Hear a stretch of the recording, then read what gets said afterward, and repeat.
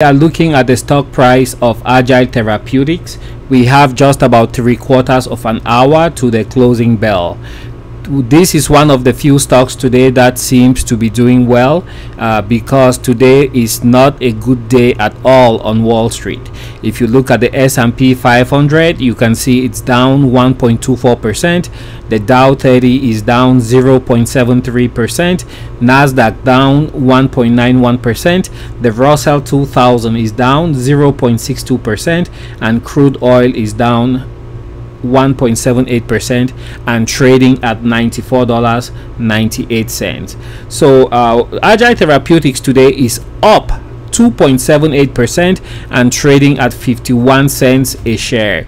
Yesterday, the stock closed at 49 cents a share up on today higher at 54 cents a share and just with uh, about three quarters of an hour to the closing bell it has dropped down to 51 cents a share the 52 week range for agile therapeutics is from 48 cents all the way up to 53 dollars 20 cents.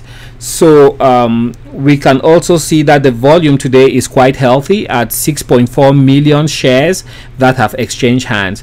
The average volume is typically around 10 million shares. The market capitalization for agile therapeutics is 16.19 million us dollars. And uh, just for a reminder agile therapeutics manufactures female contraceptive products. So that is the story of Agile Therapeutics today.